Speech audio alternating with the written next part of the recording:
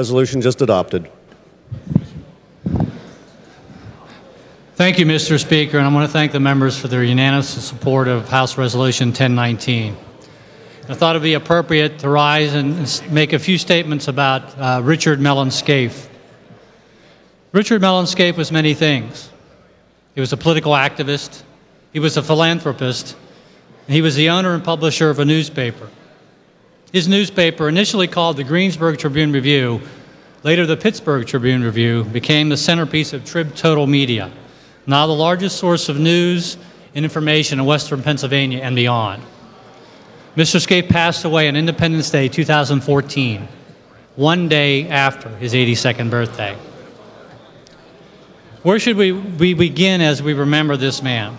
Perhaps by paraphrasing the words of Arkansas Governor Mike Huckabee, who said, Richard Mellon Scaife was born into great wealth and could have done one of three things.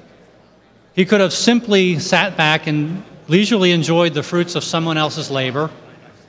He could have miserably squandered his family's fortune, or he could have ultimately did what he did, and that is make thoughtful investments spend a life engaging in some of the most remarkable and long-lasting philanthropy in our nation's history. Richard Mellon Scaife chose the latter road and in doing so made a mark in southwestern Pennsylvania for sure and on the entire nation. Mr. Scaife chose to use the opportunities created by his family's fortune to make a mark upon the landscape of both American politics and American journalism. But he didn't stop there.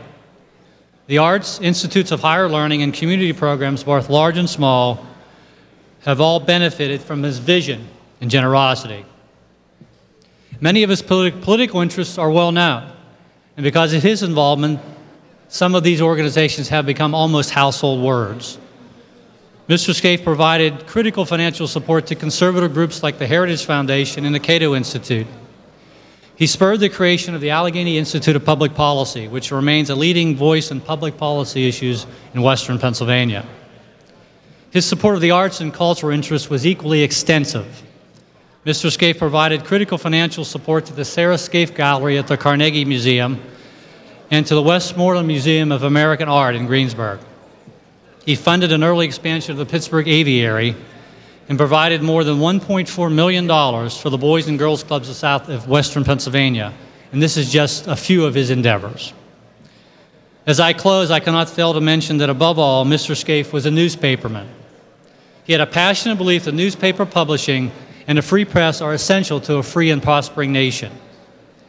Beginning with his purchase of the Greensburg Tribune Review in 1970 and continuing for more than four decades, Mr. Scaife demonstrated his unwavering commitment to a free press as a bulwark to a free society.